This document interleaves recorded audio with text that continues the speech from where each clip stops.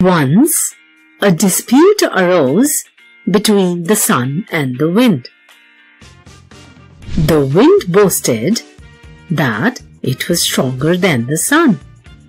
The sun was not boastful or proud, but it refused to accept the wind's superiority. In the meanwhile, a traveler happened to come there. He was wearing a coat.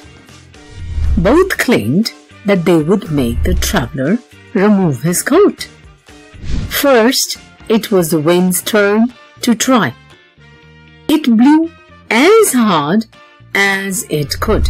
The harder it blew, the tighter the traveler wrapped up his coat. The wind failed to make the traveler take off his coat. Then it was the sun's turn to show its strength. It started shining brightly.